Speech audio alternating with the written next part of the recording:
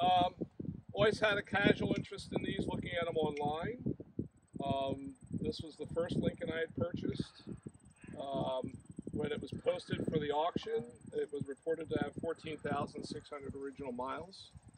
Um, and I thought that deserves a little bit closer look, so I actually drove to Saratoga and spent a few hours examining the car and decided it was as presented.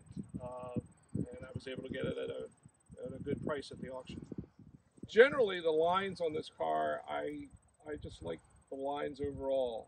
Um, there's certain styling cues that make the Mark III stand out. Obviously, the Rolls-Royce grille inspired by Lee Iacocca.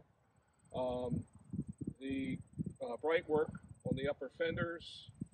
Um, and then, of course, the Continental hump in the back.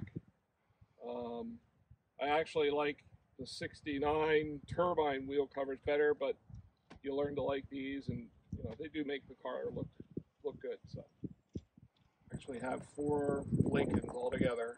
Uh, this 79 Mark V and an 88 Mark 7.